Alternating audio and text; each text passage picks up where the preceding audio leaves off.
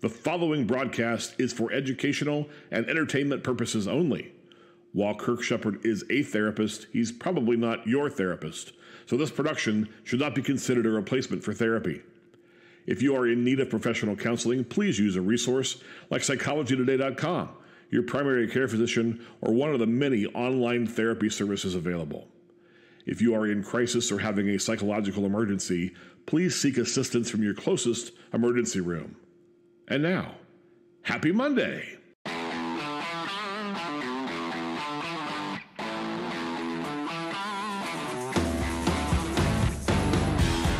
Happy Monday! Happy Memorial Day! Hello, everybody! Welcome to the show. Good to see you. My name, of course, is Kirk Sheppard. I am your host every Monday morning, live 9:30 a.m. on Facebook and YouTube and Twitch and LinkedIn and wherever you get live streams. Here I am talking to you about three things gratitude, affirmation, and productivity. And we are back at it even on this holiday morning. You see, I'm wearing my Hacksaw Jim Duggan Memorial Day short shirt. I wear this twice a year. Memorial Day and Independence Day, maybe Veterans Day, but I'll also wear it if I ever meet Hacksaw Jim Duggan in person again, because I did meet him uh, last February on the wrestling cruise that I was on. He was there wearing this exact shirt with his face all over his own body which cracked me up to no end. Hey, good morning. Happy Monday. Make sure you check out kirksheppard.com. So much great content there for you to check out, including a weekly blog that posts 8:30 a.m. on Monday mornings and typically ties in somewhat to what we're talking about on the live stream. You also can email me here at info at happymondaywithkirksheppard.com with any comments, thoughts, questions, or most importantly, if you would like to be a guest on the broadcast. I am working very diligently to line up some really amazing guests. Got a few things already in the works, a few other things that I'm hoping are going to happen, and I can't wait to uh, bring you more content and conversations with folks who have overcome things, who are succeeding at things, or who are just happy. That's kind of the goal of Happy Monday. Speaking of things that are happy, uh, yesterday I spoke at a church called the Open Table. It is an LGBTQ plus church, uh, affirming church in Mason, and I was a, a, speaker for Mental Health Awareness Month and talked about all kinds of things. Uh, they wanted me to combine my wrestling career with mental health awareness and my own life journey. So I did that, and that actually will be released on Thursday morning as a bonus episode of this podcast. So if you're listening to this uh, as a podcast, check it out Thursday. I'll drop that uh, that talk uh, as a podcast audio only this Thursday morning. Uh, also, I was able to go to Kings Island this weekend. On Saturday, hung out with my friend Connie, who uh, we do that Kirk and Connie's Epic Adventures podcast together every week as well. Uh, we had a great time. I rode Adventure Express though, and I feel like I was in a car wreck. I really was sore. I learned uh, something. So I learned a couple things. I get a front of the line pass every visit, one front of the line pass uh, every visit at Kings Island because of my Prestige Plus pass that I have to the park. And so I used it for Adventure Express, which had reopened that day. And uh, that was good, except it uh, tore up my knees because they put me in the second row. And what I realized from looking is the front row has plenty of leg room, or, you know, more leg room than what I had in the second row. The second row has a seat that pushes into the leg, the leg area that I was in. And so my knees were tight and it was a mess. So it hurt. Like it was not very pleasant and not very fun. So I might try to get in the front row, but otherwise I may be using that front of the line pass for something a little less thrilling. We'll see. Um, so yeah, hey, it's Memorial Day. I want to take a minute to thank our servicemen, and we'll talk about that in our gratitude section a little bit later. But make sure you don't forget those who paid the ultimate sacrifice for our freedom today as we look back on that. Uh, you know what? I think it's time for some good news. I found this really amazing article, uh, actually from the Today Show, and I wanted to share this story with you. It's it's truly um, inspiring. In 1994, when Jamie West was 12 years old, she was thrown out. She was out on her own, living on the street after a tumultuous beginning of her childhood. Saving graces were few and far between. I was in 94 foster homes, six shelters, a group home, and a treatment center when they ran out of places to keep me, she told Today.com. There were no beds, and by that time I realized the system was probably going to kill me, so I took off on my own. West says she first went into the foster care system in Arizona at four years old when her parents, who were both struggling with drug and alcohol addiction, couldn't care for her any longer. I was born to two adults who should have had to apply for a license in order to procreate. Then the Arizona CPS system in the 80s was really bad, like really, really bad, West says, adding that her time in the system led to some very dangerous situations. I had been running away for a few years prior, and by the time I was 12, I figured how to not run back into the system and stay out. At 12, she did that. As a preteen, West stayed in the Mill Avenue homeless encampment in Tempe, Arizona, an area known for its unhoused population with other kids like her.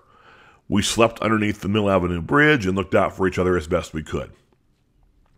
West says she felt lost at this time, but a conversation with a spiritual man led her to want to find herself as she left Arizona, finding herself in California, where she met a member of counterculture group The Rainbow Family who showed her kindness. West says she stayed with the group for almost two years, but her journey wasn't over. After a while, I ended up getting really sick, and I realized that once again I was making life choices that were going to end up killing me, she says, adding that she was around 15 when she left California, traveling around the country while picking up odd jobs and farm work. I'd hitchhike from one place to another to find work and just rambled across the country, West says. I had been hungry for over a week when I came across my first White Castle. West says she can't be sure of the exact location, but it was a White Castle somewhere in the South. She says the other fast food chains and restaurants would sometimes not even allow her entry into the building, but this time things went very differently. I walked into White Castle, the first one I had ever seen, and this woman goes, Oh, sugar, you poor thing. You go on in that bathroom and get yourself cleaned up. And so I did, Wes says. I cried in the bathroom because I was being treated like a human. While she was in the bathroom, the White Castle employee had bagged every burger cooking on the grill, placing each and every one in bags for the teen. Wes started to make a fuss about getting that much food for free, but the Good Samaritan wasn't having it. She said she was going to throw them away anyway, and so it was best to go feed somebody. Adding the woman poured her three glasses of ice water to go with the food. After eating a bit in the store, she split the rest with others estimating that it was about three days worth of food given to her for nothing. Every time after that, when I saw a White Castle, I knew it was somewhere that I would feel safe to run to, and if I was starving, I would be able to get fed. It wasn't something I wanted to take advantage of because the system was so pure. And it was such a beautiful experience to get treated like a human being, I didn't want to ruin it. She eventually found uh, an aunt to take her in at the age of 17, and she found fell in love. And here's where the story gets very interesting she knew White Castle was finally being introduced into Arizona, and so she waited outside wearing a crown because she was going to come to the castle. The White Castle actually inducted this couple, her and her new love, into their Hall of Fame. Who knew White Castle had a Hall of Fame? Which ceremony led to the couple's engagement. They had a wedding at White Castle, and they were married and are happily together now because of White Castle. White Castle says, We are happy beyond words for the joy that Jamie and Drew share and honor that we were able to play a part in the greatest royal wedding ever. Jamie's story serves as a reminder of the power of kindness and being there for one another as we keep focus on our purpose of feeding the souls of Craver generations elsewhere. My apologies to anybody who was watching the live stream and was interrupted. Uh, there was a Twitch streamer who just was saying really hurtful things for no reason. And it didn't, I mean, not, I didn't take it personal. He doesn't know me, but it was very distracting. And I was already um, not feeling it this morning uh, for some reason to uh, come live on the air. So I was, I just decided to end the stream. But I do want to release something, and there was some good content at the beginning of this. So I wanted to finish it up and release it as a podcast anyway. For those of you who are loyal listeners.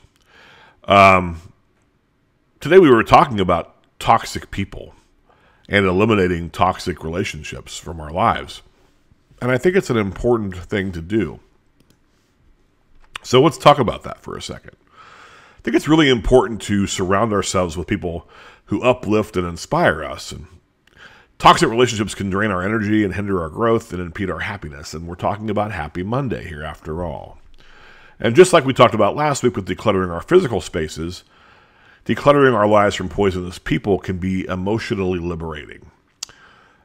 So, first thing you have to do is identify a toxic relationship. How do you notice? How do you know when this isn't working for you anymore? Toxic people often exhibit negativity and manipulation, disrespect, and emotional abuse.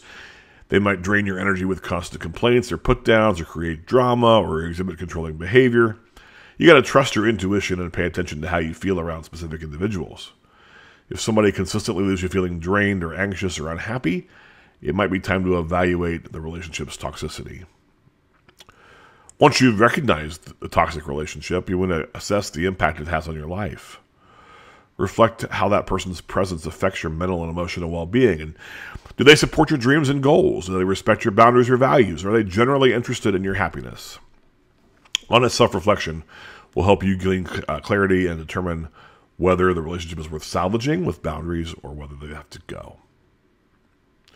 You've got to sometimes distance yourself from toxic people by limiting contact or reducing interactions or sometimes cutting ties altogether. In order to do that, you need to surround yourself with positive influences and seek support from trusted friends or family or your therapist. Letting go of those toxic relationships can be very challenging, but it's a courageous step towards personal growth and a healthier life.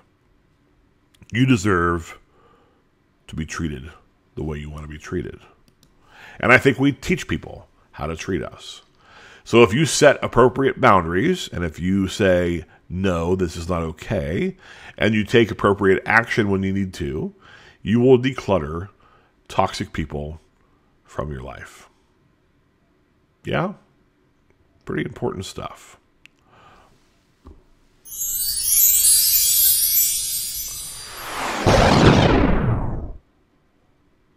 And the reality is, in this affirmation section, that you deserve to be treated well, that you deserve the best possible treatment. You are worthy of love and belonging. You deserve that. So do it. Make sure you don't have toxic people in your life. Eliminate those negative relationships because you deserve better. Fair enough? Well, I think we should meditate and then we should call it a day. Yeah? So let's get ourselves in that right spot, the right place. Breathe in, breathe out, in and out. And today I want you to think about what your life would be like if you were only surrounded by people that you love and who love you back with the same ferociousness. Picture yourself in a room with those people who love you no matter what. How does that feel? Are you allowing yourself to be open and to receive that love? Are you allowing yourself to be vulnerable with those folks? Picture a world in which you are only surrounded by people who treat you the way you deserve. You deserve this. Embrace it. Feel it. Can you picture them hugging you if that's your thing? Smiling at you? affirming you, just being with you. Whatever it is that you need today from the support system you have, I hope that you're able to get it. When you're ready, come back to reality, keep breathing, and we'll wrap things up. Appreciate you hanging out with me here on Happy Monday. Sorry that the live stream didn't go the way I'd hoped. Uh, however, we will try again next week live. Plus, don't forget this Thursday, that special uh, bonus episode will drop uh, with some interesting thoughts on mental health awareness and professional wrestling. It's really kind of fun. I'm glad you're here. And uh, happy Memorial Day. Thank you to our service folks. Really appreciate them. And we'll see you next week. Yeah? Have a good one. Happy Monday, everybody.